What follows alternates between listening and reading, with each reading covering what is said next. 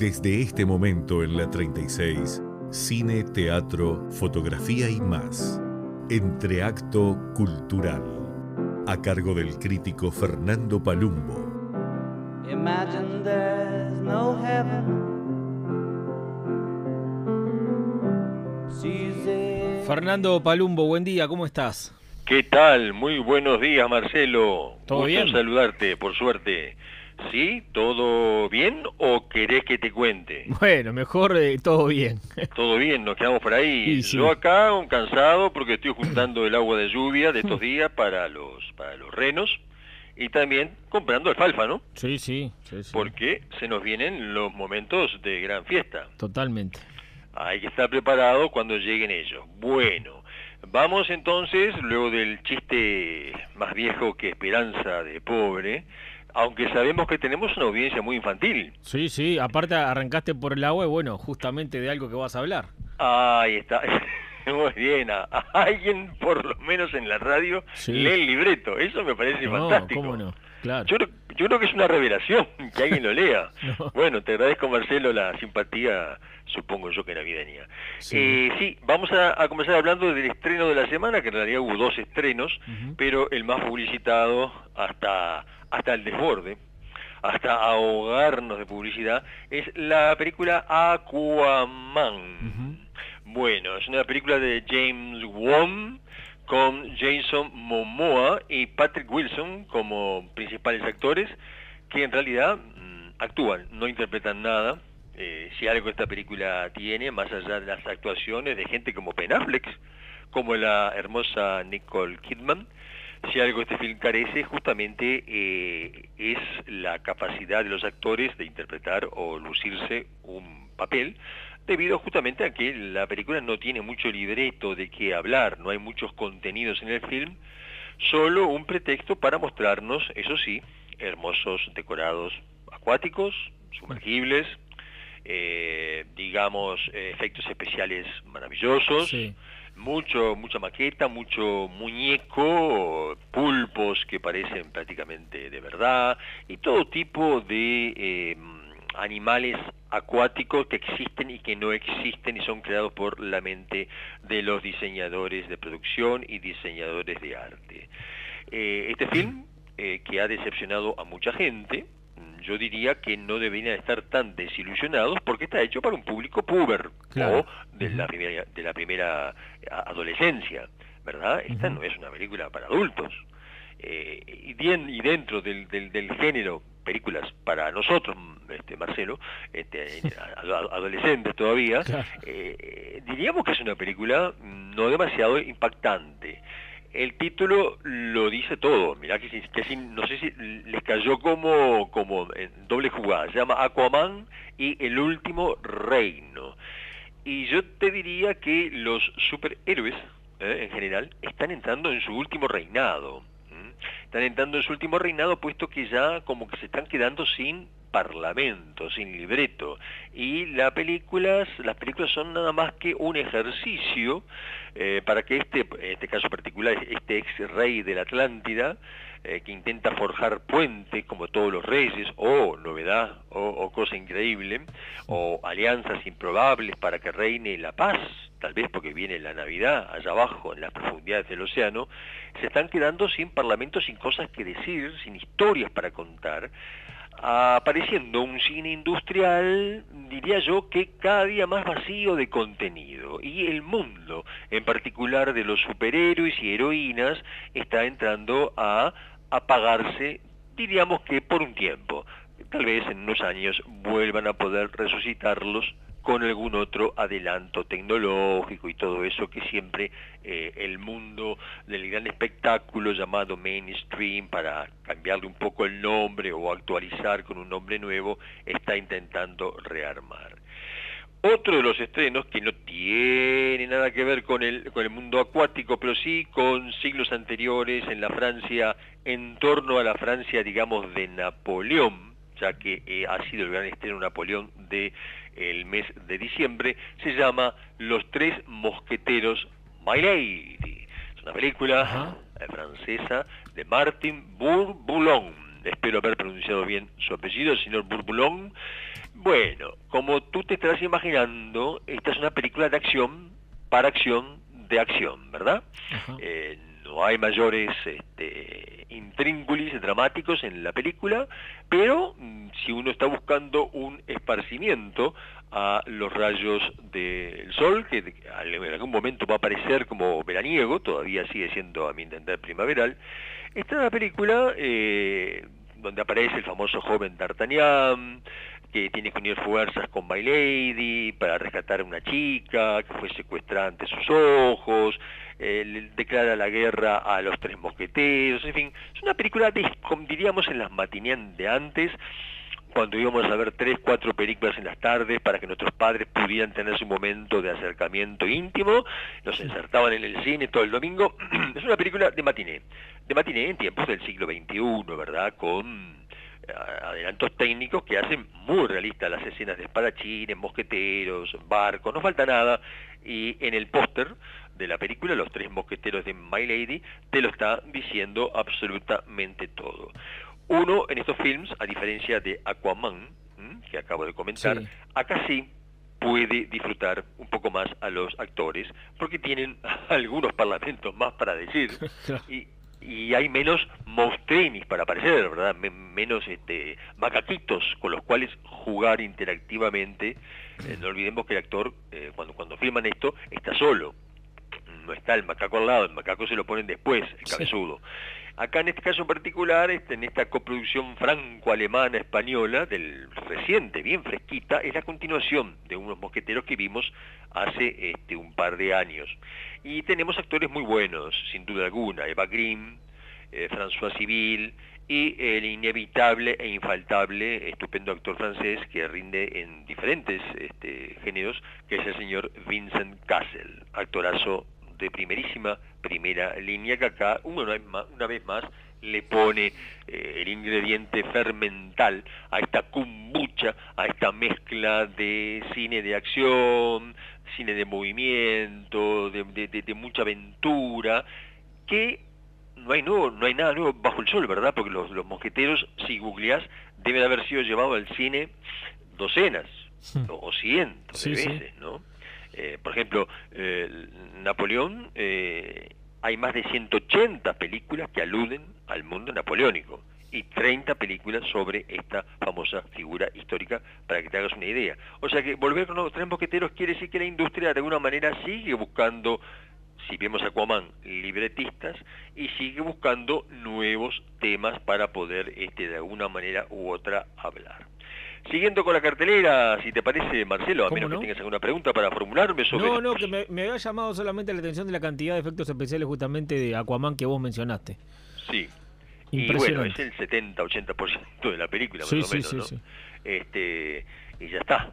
Y bueno, este, este, mirá que está muy bien todos los este, muñequitos que aparecen, el pulpo está fantástico, por ejemplo, es un personaje eh, que se roba la película, pero básicamente fuera de eso... Mm, no ocurre nada con, con, el film, eh, una continuación, está todo muy visto. Bueno, y en cuanto a estrenos también de esta, de esta semana, donde la película de Aki Kaurismaki, ya hemos comentado en varias oportunidades, se come a los estrenos del mes de diciembre por su calidad formal y por los importantes eh, contenidos que nos va dejando.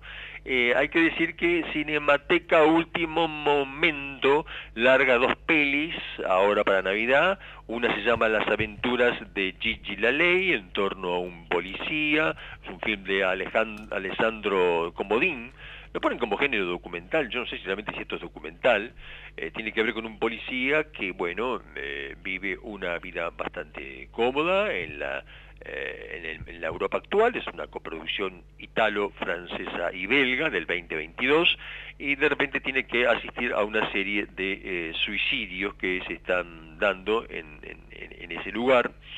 Eh, y eso lo lleva a bueno, investigar cosas extrañas que están ocurriendo en el subpoblado que aparentemente no era para nada, digamos, este, complicado desde el punto de vista de las relaciones humanas. Un estreno reciente que lamentablemente no hemos podido ver todavía, lo haremos tal vez para la semana entrante. Y también la Cinemateca, siempre tan activa, estrena la película eh, Manuela de Clara Cullen, un título podría tener en el cómo, en la versión que le va a dar Clara Cullen, eh, cierto interés, es la manida y muy vista también historia eh, de una argentina protagonizada por Bárbara Lombardo, estupenda actriz, eh, esta inmigrante que va a buscar trabajo desde la Argentina de Miley para las desoladas calles de LA, de Los Ángeles.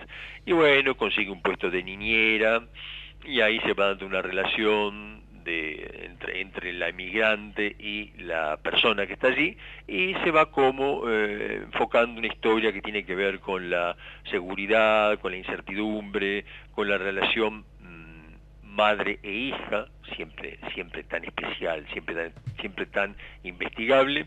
Eh, se luce Alma Farago también, y es una coproducción argentino-estadounidense.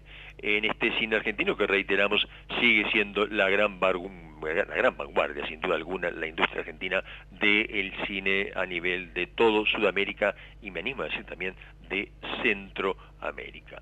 En cuanto a estrenos, esto es lo que llegó, repasando rápidamente la cartelera, te digo que hay todavía películas valiosas, eh, Wonka de Paul King es un estupendo musical también para gente menuda fundamentalmente, aunque los adultos vamos y podemos perfectamente disfrutar de decorados, diseño de arte, actuaciones y, ¿por qué no?, vivir un poco de, la fantasía, digámoslo así, fantasiosa total. Eh, la película que está dando la CT, Trenkelauken, es muy interesante, es una comedia muy dramática en torno a hombres que están enamorados de una misma mujer y que desaparece. No desaparece en el barrio Boro ni en 40 semanas, sí. desaparece en alguna parte del sur argentino y ambos que tienen eventualmente algún tipo de posibilidad de complicación en, en cuanto a relacionamiento con ella, con ella este, bueno, ambos eh, la buscan y hay como secretos guardados en esta búsqueda. Se mantiene en cartel la película Puam, a mi entender uno de los grandes títulos latinoamericanos estrenados en el corriente año 2023, que dentro de una semana y horas se nos va terminando. Esta película de María Alche y Benjamín Neistat, pareja en la vida real, con actuaciones soberbias de Ma Marcelo Subioto, y Leonardo Sbaraglia que se mete en el mundo de los catedráticos de la filosofía. Un mundo que uno dice impenetrable para el cine, ¿verdad? Porque es todo literario, complejo, abstracto, pero no, rinde muy bien la película porque le sabe dar muchísimo ingenio, así como hay mucho ingenio en la película Golgana de Taika Waititi, eh, en torno a un grupo de perdedores de fútbol samoano, que bueno, que reciben a un entrenador y que de alguna manera u otra eh, salen adelante también para un público menudo con la gran actuación del siempre impecable Michael Fassbender. Y es eh, de destacar que se mantiene en cartel la película La Sociedad de la Nieve, la película de Bayona, eh, una coproducción que tiene que ver evidentemente con Uruguay, pero también con varios países, eh, en cantidad de salas. Es impresionante como abarca salas de, de, de, todo Montevideo y también del interior. Un film que tiene el único problema que sabemos el final, ¿verdad? Claro, claro. Y que no agrega demasiado a la historia que todos ya básicamente hemos conocido durante más de 50 largos años, ¿no? que nos han contado y recontado una y una y, otra vez, lo cual nos, nos, resulta un poquito aburridos. No así aburrido nos resultó para nada el documental Muchachos, la película de la gente, eh, que algunos colegas y amigos críticos de la Argentina me dicen, pero ¿te gustó esta peli? Realmente, y sí, realmente me gustó porque es, eh, bueno, la forma de mostrar un, como un pueblo, el pueblo argentino, uh -huh. tan querido y maravilloso, se manifiesta en las calles, sale a las calles a, a, a, a, digamos en este caso particular, con mucha alegría, a festejar a sus héroes, héroes reales de carne y hueso, que son por el momento los jugadores de fútbol. Tal vez en un futuro los héroes pasen a ser grandes líderes políticos, grandes estadistas. Eso lo veremos tal vez en un futuro mediano o lejano. Y ahora, escuchando ah, el himno de la ciudad de Montevideo, vamos a pasar a otros temas en este entreacto cultural rumbo a tiempos navideños.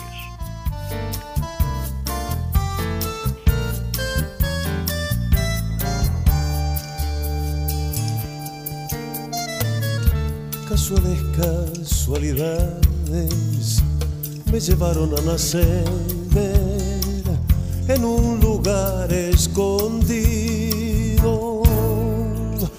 tan chatito y tan perdido que en el mapa no se ve, que en el mapa no se ve. Seguimos escuchando, Fernando.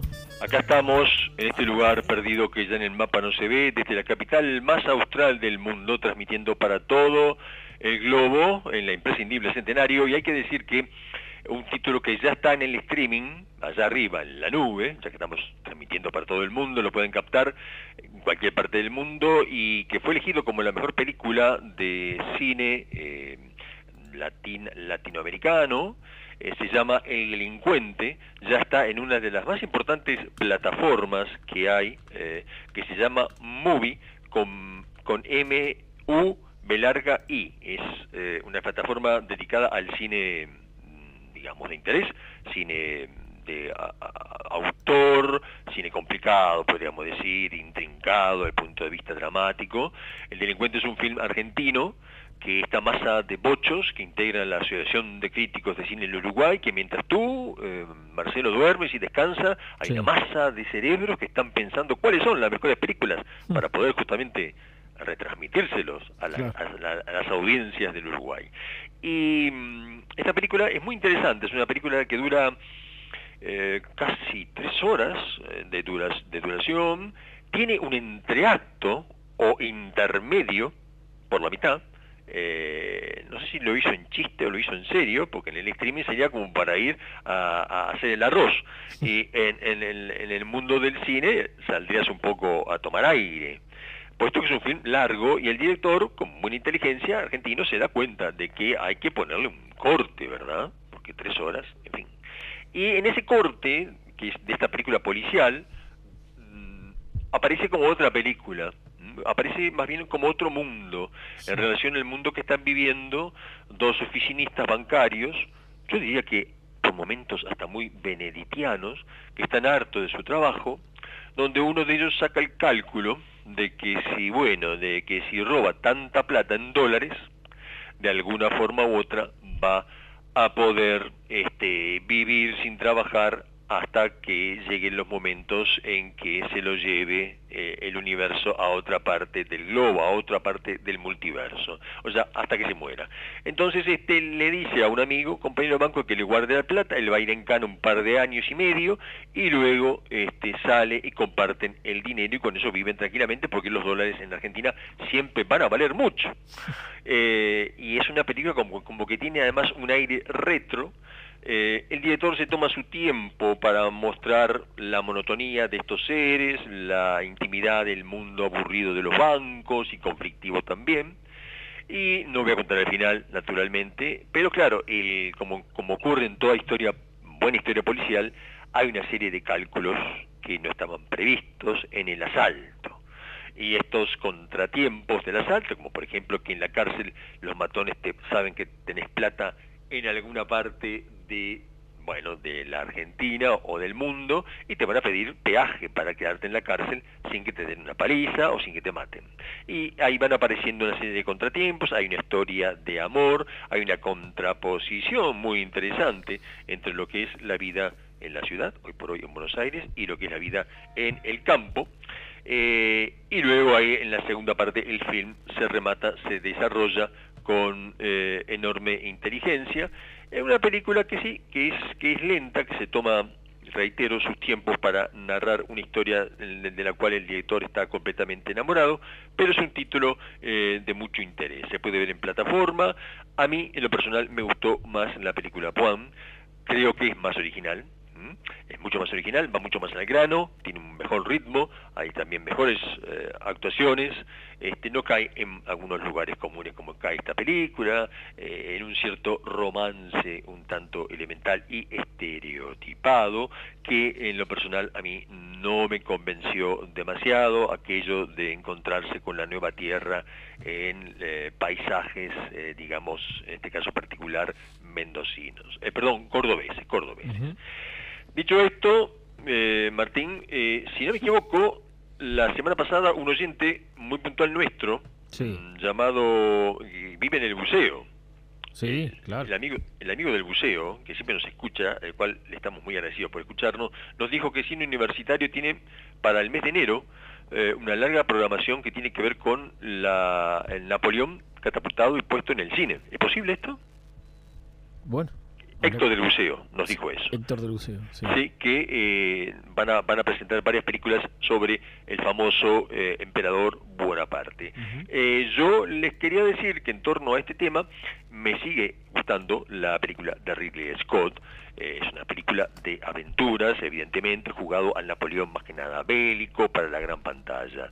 Pero aquellos que quieran, por ejemplo, encontrarse con un Napoleón más de tipo eh, digamos que podamos observarlo como estadista, como político, como pensador, habría que ver un film que no es de los más conocidos de la trayectoria eh, de, de, de Bonaparte en la pantalla, que se llama Napoleón N. Es una película francesa de Antoine de Cobes, o de Cobes, eh, Monsieur Antoine de Cobes, la última batalla se le ha subtitulado porque Napoleón N no parece que vendía mucho ya en el 2003 y que tiene que ver de los últimos años de el, el- el mariscal de campo Bona- Bonaparte en la isla Santa Elena preso por los ingleses él y su corte de eh, amigos parientes generalato que están allí.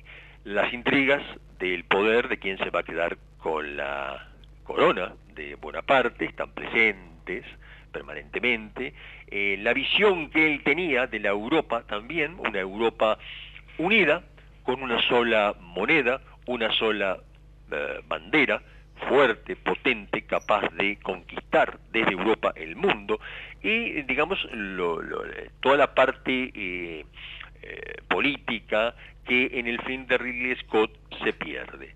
Sin duda hay una serie de, de intrigas muy sórdidas, eh, es una película más, digamos, de cámara, con menos despliegue de acción, y muestra y nos ilustra mm, más el interior del personaje y su proyección como estadista. Es una película muy interesante para verla, no sé si lo incluye cine universitario en el ciclo, calculo que van a dar películas un tanto más clásicas, como por ejemplo, supongo yo que viene Austerlitz, la versión de Abel Gans de 1960, también sobre el tema de Napoleón, y ojalá, ojalá, lo digo con toda sinceridad, se dé el Napoleón de Abel Gans de 1927, a mi entender, eh, una película muda, de larga duración, que eh, sin lugar a dudas es hasta el momento, eh, qué increíble, ¿no? Es sin lugar a dudas la versión más impactante de este hombre que fue un individuo que cambió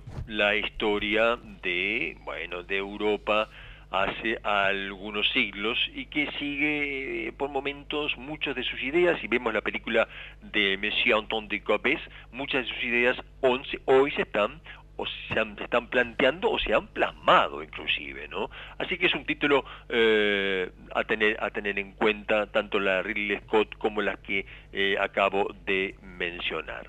Dicho esto, Martín, no sé si tú, tú querés agregar algo No, más no, o tenés no. alguna pregunta. No hay nada que agregar. Bueno, no, no, como no siempre hay algo que agregar. Yo en lo particular, este, me quedan todavía un par de minutos. Quería recomendar Blue Jean, esta gran película que está pasando un poco desaper- desapercibida, que está, está en estreno, de Georgia Oakley, estupenda película.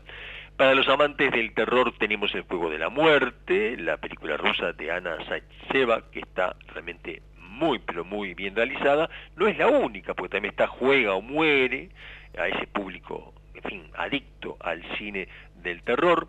Que no es mi caso. Por cierto, Salux también, el juego del miedo, en mi, entender un tanto obvia y aburrida, este, y obviamente también tenemos Viernes Negro, la película de Eli Roth que ya hemos comentado que está en ese género, y varias películas para nenitos como Una cigüeña en apuros, La joya perdida, Trolls 3, está muy bien Trolls 3, ¿eh? Eh, excelente lo- la- la animación, Troll 3 se armó la banda, es una repetición de los trolls que ya vimos, pero está muy bien hecha.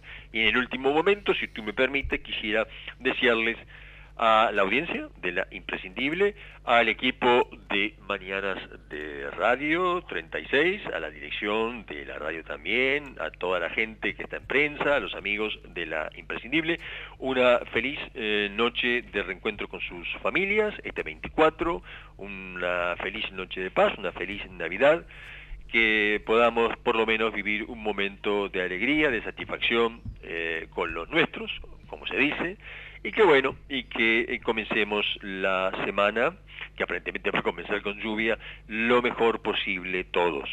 O sea que les deseo a los oyentes de Interacto Cultural, aquí en Mañanas de Radio, y a los oyentes de La Imprescindible, bueno, lo mejor para esta noche de reencuentro de la familia, para algunos y para otros la noche de Navidad, aquellos que son eh, fervientes creyentes de la Iglesia Católica Apostólica Romana. Fuerte abrazo a todos, que lo pasen lo mejor posible, como siempre decimos, y nos encontraremos el próximo viernes para intentar contarles lo mejor del cine y de la cultura a nivel nacional e internacional. Un abrazo, Un Fernando. abrazo, felicidades. Fernando. Lo mismo para vos, ¿eh? Bueno, a ti también Ángel, ya que estás ahí presente, y nos vamos, si te parece, con el himno a nuestra querida ciudad de Montevideo, que además ahora tenemos ciclovía. Exacto. Además tenemos ciclovía. Recién bajé. ¿Qué más dos querés? para un lado y venían dos del otro. Ve- dos por un lado, dos mucha gente, ¿no? Muchos ciclistas. Muchos ciclistas. Impresionante. Yo ya compré el monopatín. Bueno, te queremos ver, ¿eh? Te Sí, sin falta, sin falta. Que pase lo mejor posible, Hace años que patinás vos igual. Eso es cierto, ando patinando. Sobre todo cuando, cuando hablo de cine. Ahí No. patino bastante. Abrazo amigos, hasta luego, hasta luego.